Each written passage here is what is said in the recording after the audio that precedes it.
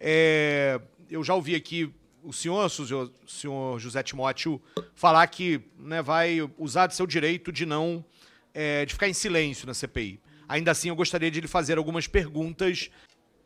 Como nós sabemos, o atual CEO da, das lojas americanas esteve aqui nessa CPI. E nessa CPI apresentou um PowerPoint com muitas, com algumas supostas provas que mostravam é, elementos incriminatórios de vários setores, vários grupos.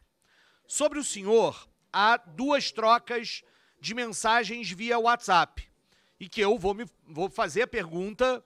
É, quem sabe o senhor se anima a responder. A mensagem apresentada pelo atual CEO, Leonardo Coelho, diz o seguinte: Bom dia, assinada supostamente, porque o que nós temos é o print, é uma impressão da mensagem assinada pelo senhor.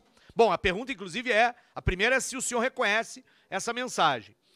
Bom dia, estava refletindo sobre a nossa alavancagem em março de 2017. Não podemos mostrar para o Conselho e mercado nada acima de 3,3, 3,5. Será morte súbita. Nem tem mais morte súbita na Copa do Mundo agora, né? mas a expressão é será morte súbita. Temos que trabalhar desde já em todas as alavancas.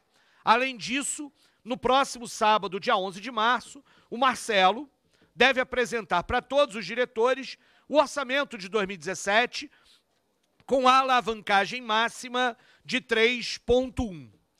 Pergunto, pergunto ao senhor, é, o senhor estava tentando dessa forma dizer para outras pessoas que era melhor manter escondida a fraude?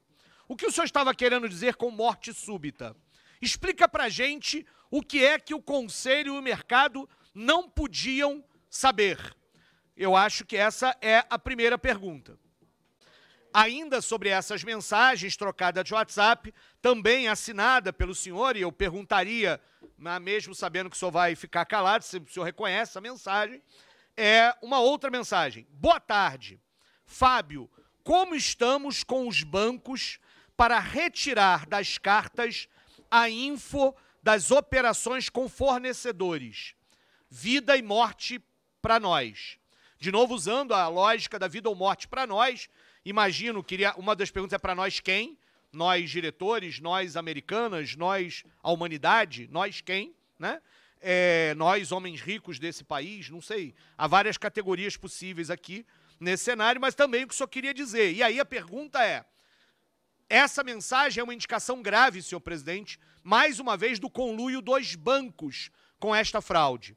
Nós temos elementos hoje, apontados inclusive pela diretora da KPMG, que aqui esteve, que disse que foram os bancos que alteraram as cartas e não a auditoria, e, portanto, os bancos participaram das fraudes. Mas pergunto ao senhor José Timóteo: os bancos, portanto, estavam coniventes com a fraude da Americanas SA?